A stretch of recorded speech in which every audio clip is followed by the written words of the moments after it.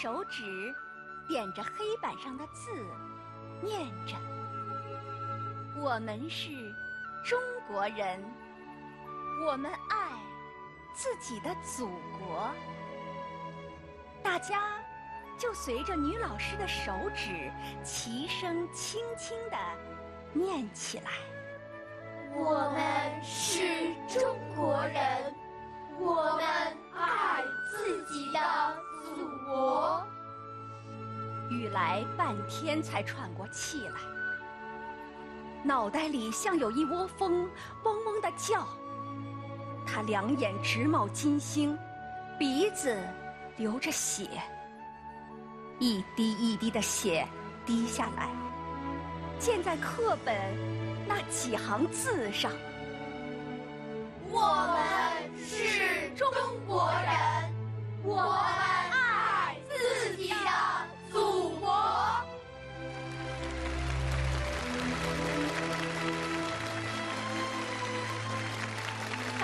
跟着孩子们朗诵课文。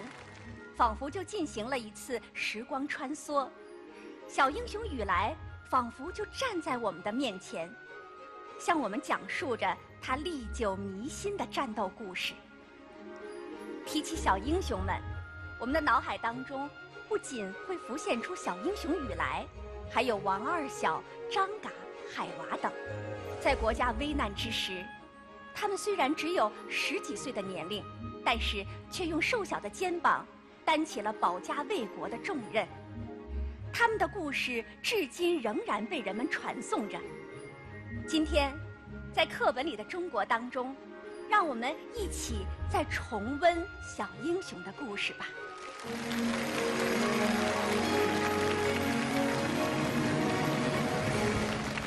课本里的中国，小小的课本，大大的力量。大家好，我是你们的好朋友金豆哥哥。在我很小很小的时候，小英雄们的故事就广为传颂，他们的形象一直深深地印在我的脑海当中。至今呢，我还记得嘎子和胖墩儿摔跤的经典画面。红云老师，我想问问你啊，听到孩子们刚才这段朗诵，您觉得怎么样？哎呀，我这个脑子里头是浮想联翩。嗯，咱们就说孩子们读的这几个字。我是中国人，我们爱祖国。今天的雨来该是什么样子呢？嗯，我希望他们能够继承小雨来的这个精神啊。而且在我们的心里一直揣着那颗赤诚的中国心。我相信他们朗读出来的时候，效果肯定是不一样的。谢谢谢谢您，嗯，彭敏，其实我想问问你啊，在你的印象当中，你有没有印象特别深刻的小英雄的形象呢？呃，咱们的课本当中呢，有很多现代的小英雄，大家都已经很熟悉了，刘胡兰啊、雨来啊、王二小啊、小兵张嘎呀。那其实我想分享一位古代的小英雄哈，就是他身上那种舍己为人的精神也非常值得我们去学习。这个人呢叫孙叔敖，是春秋战国时候的一个楚国人。那么孙叔敖在他小的时候啊，有一次去野外，就遇到一条蛇，长着两个脑袋，非常吓人。那孙叔敖第一反应当然是逃跑，可是转念一想，不行，为什么呢？因为在当时人的那种观念当中哈，他们认为两头蛇是一个非常不吉利的东西。你要是撞上两头蛇，就算没有被咬到，你也很快就会死掉。那孙叔敖就想，哎呦，反正我也活不成了。可是这蛇还在呀，他还得再害多少人啊？是不是？我得把它解决掉。所以呢，他就克服了自己内心的恐惧，转回去和这个两头蛇展开了激烈的搏斗，最后把这个蛇就给杀死了。那最后证明呢？那些什么遇到两头蛇就会没命啊，当然都是无稽之谈，对吧？这个孙叔敖呢，不但没有死，后来呢，还成为了楚国的令尹，也就相当于丞相，而且他是一位非常好的丞相。后来司马迁在写《史记·荀吏列传》的时候，就是集中表扬了一大批荀吏，也是特别好的那种官嘛。那么其中排在第一个的就是这个孙叔敖。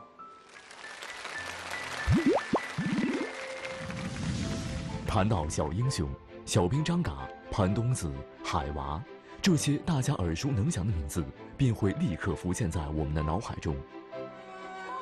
红军，红军，红，军啊！你就是用笤帚疙瘩吓了鬼子枪的罗金宝叔叔吗？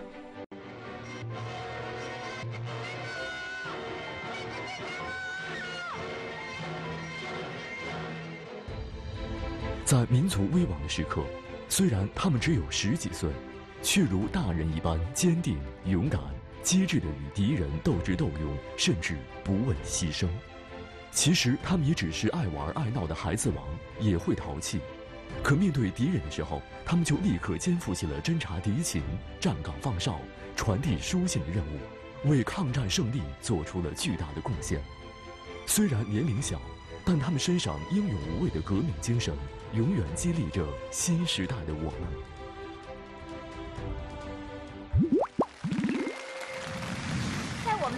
当中呢，不仅讲述了小英雄雨来的故事，还讲述了另外一位小英雄的故事。他的名字叫张嘎。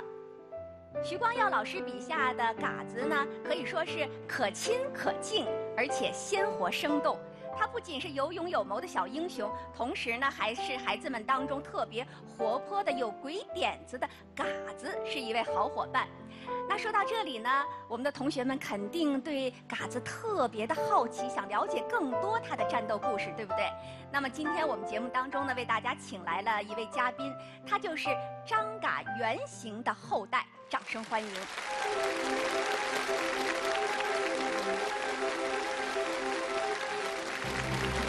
有请白洋淀抗战纪念馆馆长、小兵张嘎原型后代王木头上场。大家好，我是一位地地道道的农民，我叫王木头，是白洋淀抗战馆的馆长兼讲解员，今年七十岁了，坚持在白洋淀义务讲解抗战故事二十多年。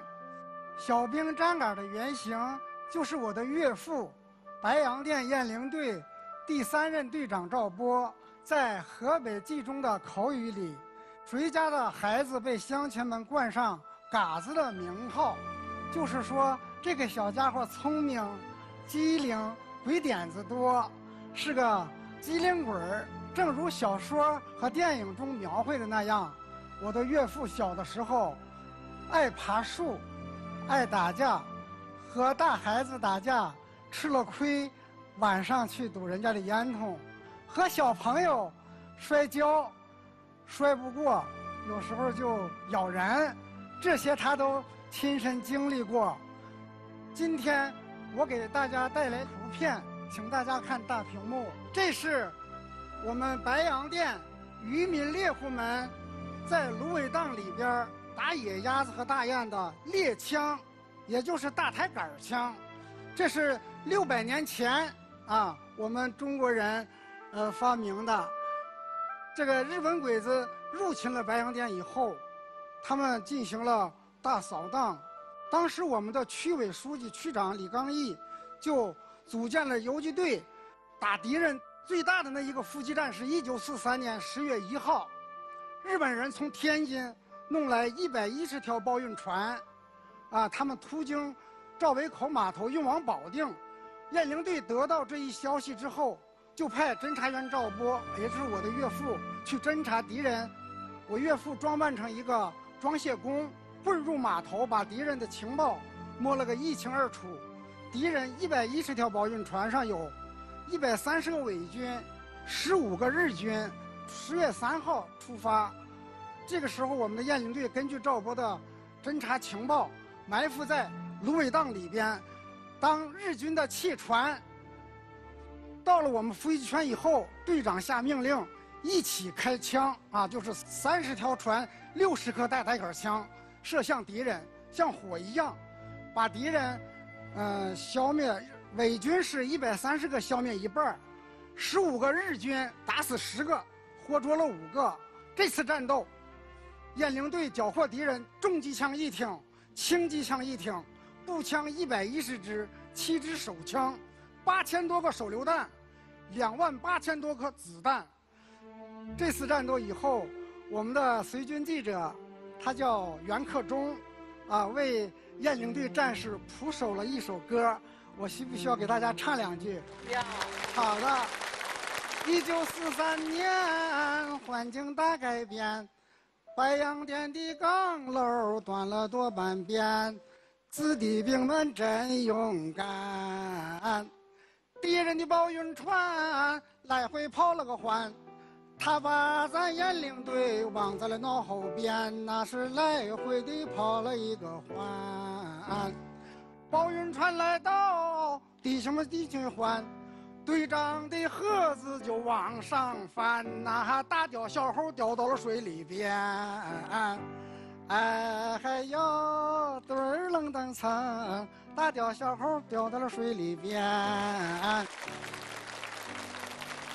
呃，从九八年开始啊，义务给大家讲。我每次讲的时候，拿小喇叭就像变了一个人似的。啊，我就是呃有一个信念，虽然我今年七十岁了。我要讲到讲不动为止。哈哈哈哈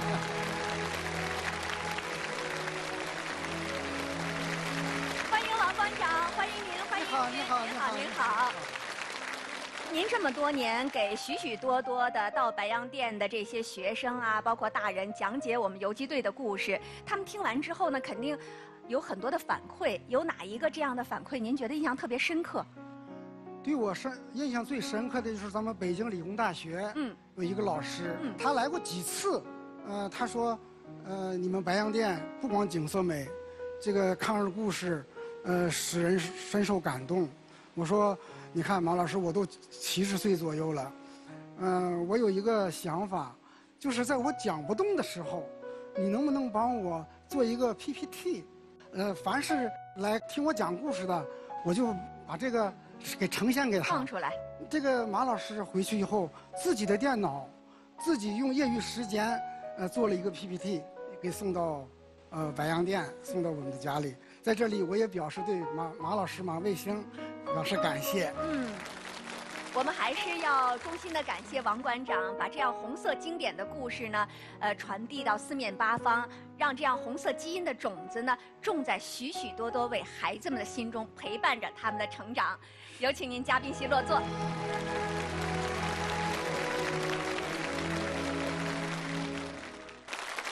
小兵张嘎的小说出版之后呢，不仅被翻译成许多种语言发行，同时呢，还创作出了同名的电影、电视剧、动画片、连环画等。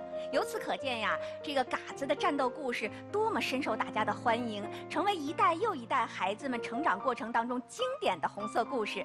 那今天来到我们现场的同学们，想不想呢？通过一种游戏配音的方式，也感受一下我们小英雄嘎子的那股劲儿，想不想？想好，接下来呢，我们就让同学们呢试着配配音，我们看一看他们配的有什么样的味道。来，这组同学先来，请看大屏幕。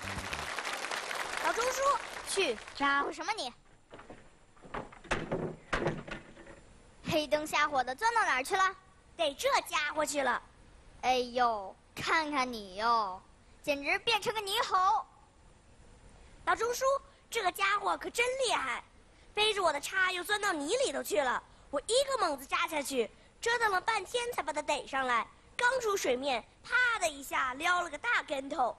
行了行了，把鱼给我，给您，我好做给您老钟叔跟小姨吃。老钟叔，得讲个打鬼子的故事，慰劳慰劳我吧。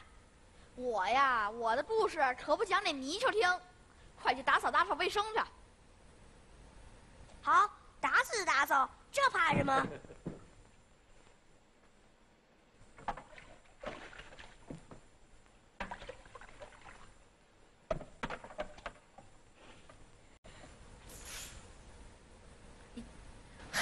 你瞧这傻小子！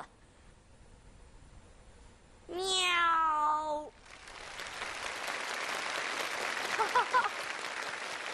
真好！哎呦，我都看进去了，没看够啊！好，请坐，请坐，非常好，非常好。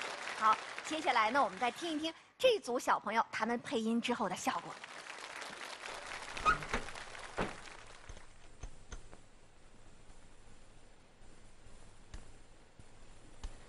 你是鬼不灵的。这还能假了？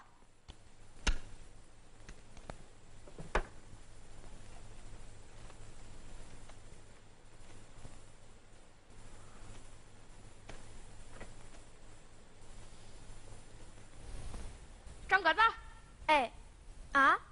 你怎么知道我叫张嘎子？我早就知道你叫张嘎子。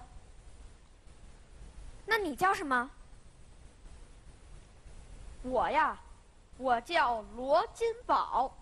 啊，你就是用笤帚疙瘩下了鬼子枪的罗金宝叔叔吗？这假不了啊。老罗叔，嘎子。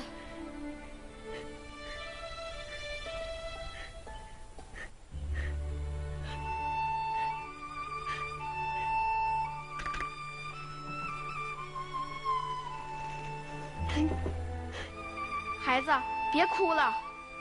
嘎子，这是区队长。区队长，老钟叔被抓走了，奶奶也死了。你们去救老钟叔，给我奶奶报仇。好，孩子，这些我们都知道了。你是来报信儿的吧？不，我是来参加的。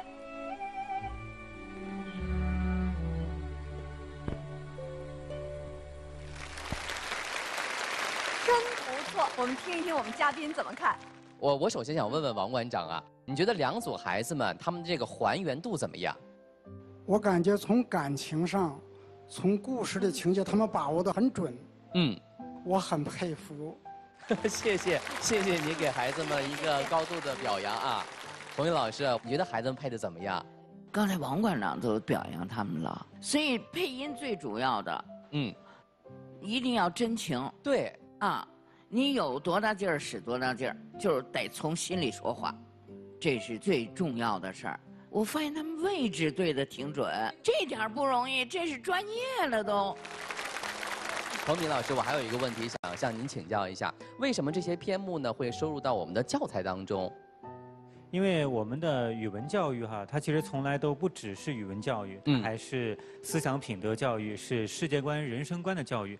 那我们的很多和小英雄有关的篇目呢，入选到课本里面，其实小朋友是可以学到非常多、非常多的东西的。对，比如说机智、勇敢、忠诚、信念，然后热爱祖国、不怕牺牲嘛。那我就觉得哈，我们这一代的小朋友哈，就是他们各方面都特别特别好，唯独呢就缺一个东西，就是人生历练。他们太幸福、太安逸了，所以呢，他们的性格当中呢，可能会缺一些就是比较坚韧的东西。所以呢，我们用这些课文，让他们去读一读这个刘胡兰的故事，读一读这个雨来的故事，读一读这个小兵张嘎的故事，这个活生生的榜样哈。因为在年纪上和小朋友们差不多，嗯，所以呢，就会非常的有代入感，有助于他们精神的成长和人格的一种塑造。当然，更有助于他们在危难的时刻。挺起稚嫩的肩膀，去成为民族的脊梁。其实我觉得孩子们在这个年龄啊，他们可能读这些课文的时候呢，和我们小的时候是一样的，因为我们也从那个岁月过来的，就有些可能不太理解他为什么要这么做呢？那么孩子们如何更好的去深层次的去理解这些课文呢？彭敏，这些东西呢，就像我小的时候读一些诗词哈，可能一开始也并不理解，但是我。把它背下来了，我把它留在我的生命当中了。过了很多年之后，我一回顾，哦，原来是这么回事儿。所以小英雄的身上的这些故事哈，啊，尤其是像刚才这个老钟叔被抓走了，然后奶奶也不在了，这样的非常沉痛的一种情感，可能在座的小朋友真的未必能马上就理解。但是他们记住了这样一个故事，记住了这些东西，将来在他生命中的某个阶段，他们一定会想起来，一定会有强烈的共鸣的。嗯。其中呢，有一个先学习后含化，然后再升华的一个过程。我们呢，这个不着急，慢慢的静待花开。好，刚才呢，两位嘎子，张嘎子起立。看我们这位嘎子，特别秀气的小姑娘，为这个嘎子第一段啊配音的。哎，我觉得你的声音当中呢，还有一点点这个小男生的那种，哎，粗犷劲儿。这是。自己的声音就是这样的，还是专门为了贴近人物，你塑造了一下呢？平时说话肯定不会这样，但是就是模仿男生的时候，就用一点那种比较浑厚的音，这样就更贴切一点。哦，人家还知道这个用声音塑造角色，你再来两句，就刚才你那个台词。这家伙可真厉害，背着我的叉子又钻到泥里头去了，我一个猛子扎下去，折腾了半天才把他逮上来。哦，就觉得他声音特别的有那个嘎子的那个嘎劲儿，对不对？今天呢，我们现场的这几位同学当中呢，有两位是来自白洋淀的，就是张嘎子的故乡。来，请两位同学起立，大家认识一下，欢迎你们，欢迎。大家好，我叫张卓元，来自安州小学的一名学生。我觉得自己遗传了我们白洋淀人最朴素的性格与品质，活泼开朗、执着有毅力。除了大家在电影中看到的小兵张嘎的故事，在我们白洋淀还有很多小英雄。在抗日战争时期，白洋淀周村有个叫周小勇的孩子，他的妈妈何秀同志是战地医院的医生。有一次，当部队转移到山区作战时，他的妈妈为了掩护伤员。不被敌人发现，自己暴露目标，吸引敌人火力，壮烈牺牲在了山地。周小勇也被捕，并悬空绑在教堂的栏杆上。小勇咬紧牙关不吭声，敌人拿枪托狠砸他的后脑勺，直到他晕厥过去。小勇的故事一直激励着我，让我在生活、学习中遇到困难的时候有股子韧劲儿和毅力，告诉自己一定要克服困难，取得成功。谢谢大家。嗯。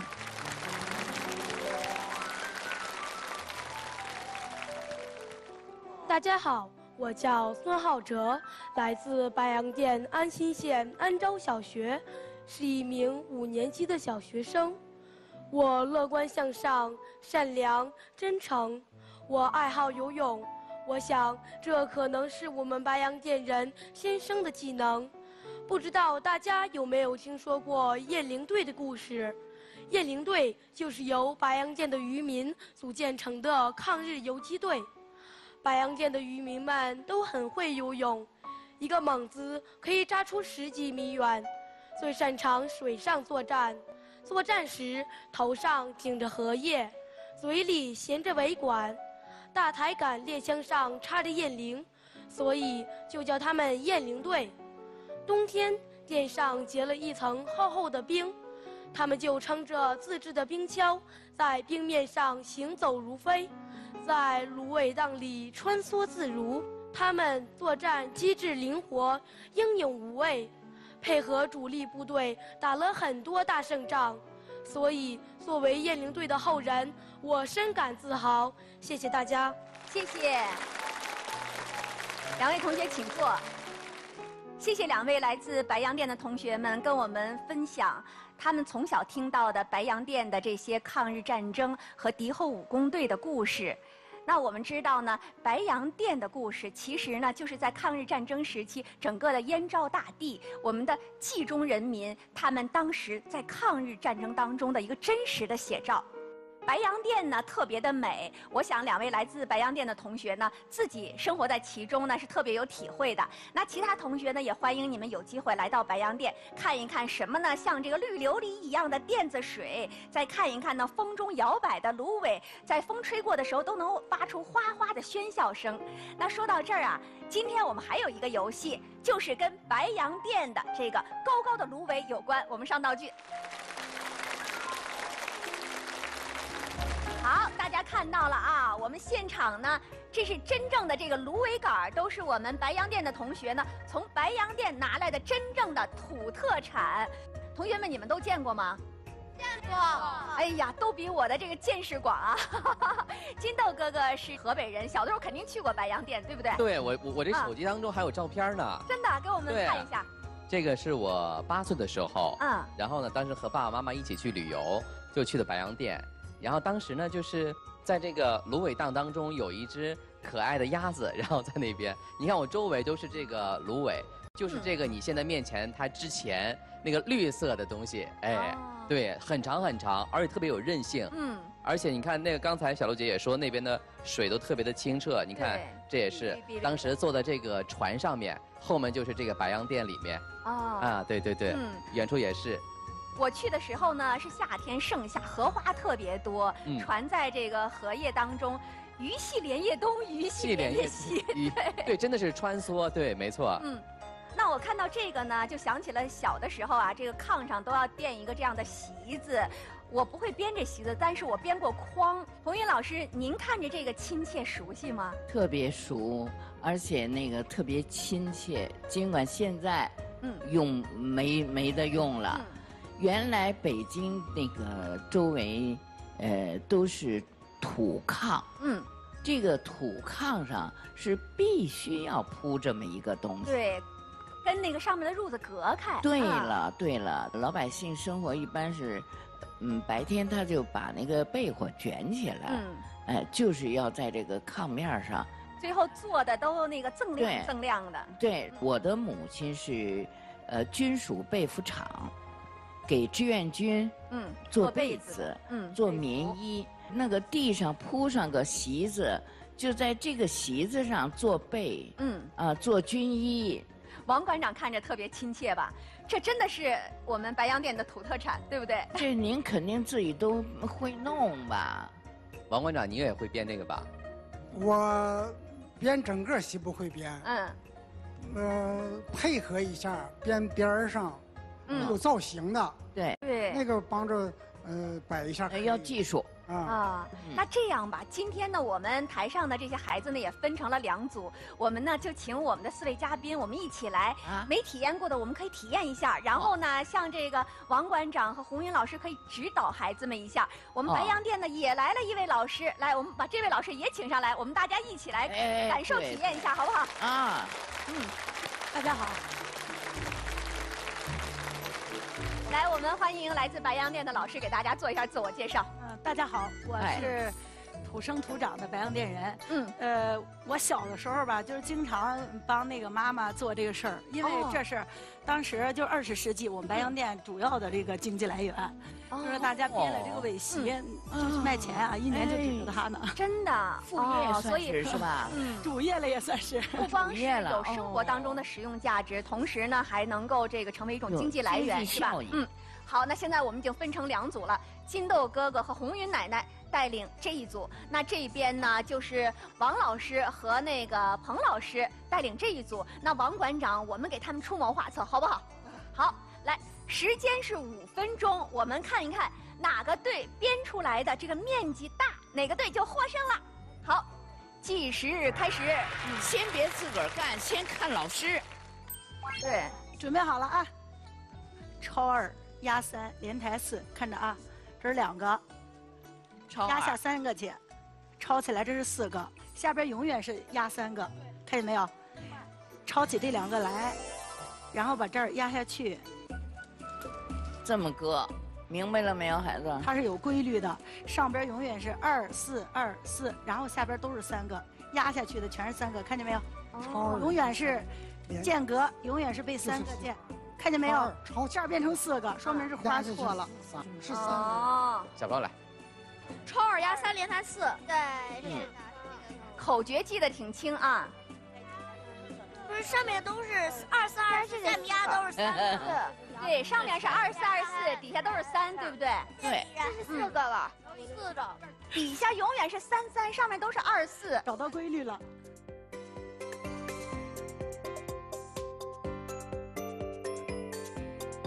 王馆长，在抗日战争时期，我们这个芦苇呢，它都起到什么作用？掩护吧，天然屏障。对，那是一个。嗯。另外，这个苇席，我们当那当时的雁翎队，都生活战斗在芦苇荡里。嗯。那有时候下雨啊，刮风啊，嗯，而且你看春天、秋天，它是比较冷的时候，嗯，这苇席就可以搭上一个小房子一样。哦。啊，这样这个雁翎队员们。就能坚持在芦苇荡，不然的话，没有这个可遮挡的，是吧？它它主要就是靠这个尾席。嗯，再来再来，小心 眼睛啊！给金豆哥哥来，哎，来。然后这两根儿，两根儿，然后这儿，我这样对吗？好嘞，然后朝这儿，对对对对，太棒了。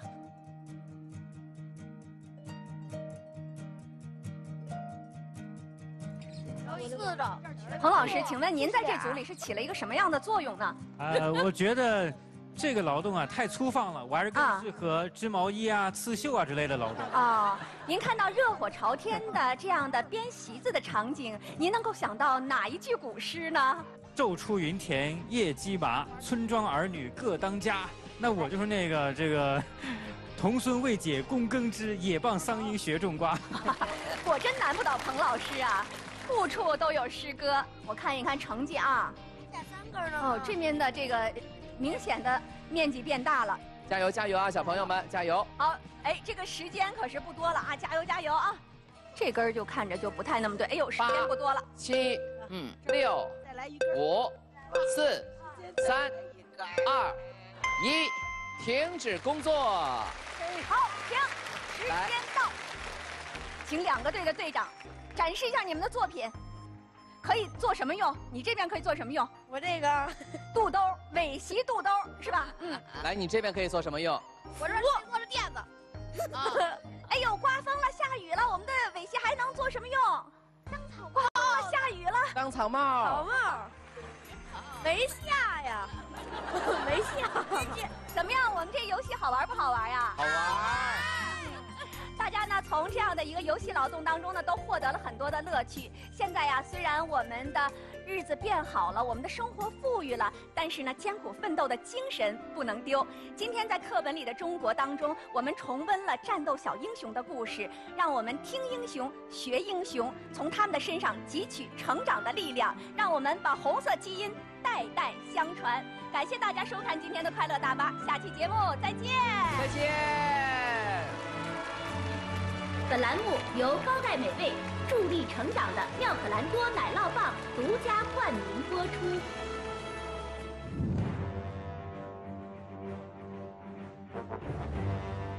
故今日之责任，不在他人，而全在我少年。少年智，则国智。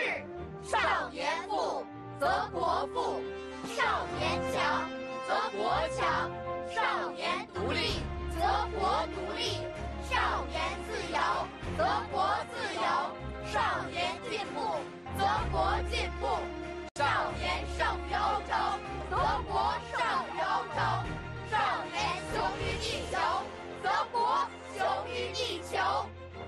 美哉，我少年中国！与天不老，壮哉！我中国少年与国无疆。故今日之责任，不在他人，而全在我少年。少年智，则国智；少年富，则国富；少年强，则国强；少年独立。则国独立，少年自由；则国自由，少年进步；则国进步，少年胜于欧洲；则国胜于欧洲，少年雄于地球；则国雄于地球。美在我少年中国，与天不老，与天不老；壮哉我中国少年。与国无疆，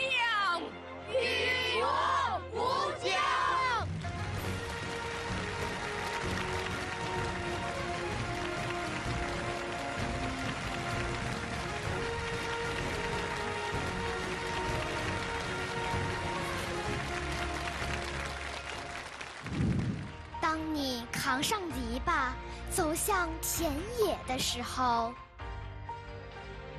为人类造幸福，伟大无比的创造力，所有贫穷和灾荒将会被我们改造一新。书生意气，挥斥方遒，胜利一定是属于人民的。他给我们新中国画出了一个完美的蓝图。热爱祖国，无私奉献。有些事总要有人去做。少年智。则国智，少年强则国强。快乐大巴课本里的中国，邀您燃情共读。